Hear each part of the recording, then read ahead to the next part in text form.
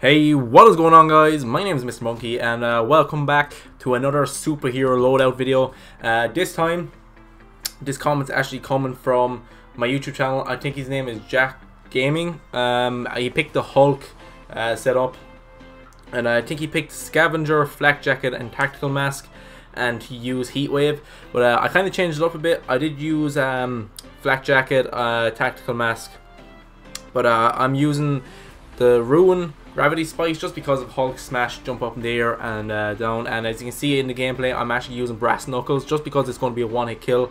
Uh, I was lucky enough to get the Brass Knuckles. I just said to myself, I'll open up a case. I opened up one case and I got the Brass Knuckles, so I was lucky enough to get them. But uh, yeah, the gameplay is on Hunted, and uh, I've got two gameplays from Combine, so I hope you actually enjoy watching them.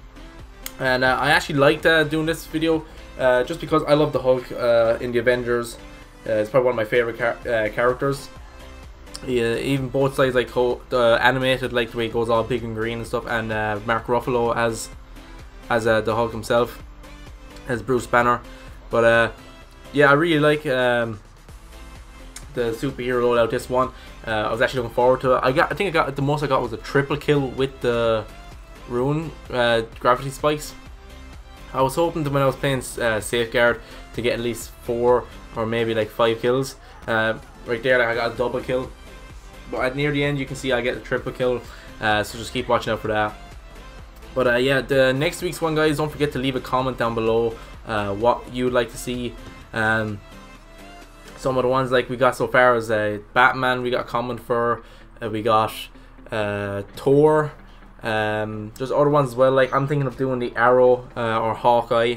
Um, so if you want to see that, just leave a comment down below. There's other ones. What's what's there was another one I was going to do, and it was actually really popular with other people on uh, Twitter.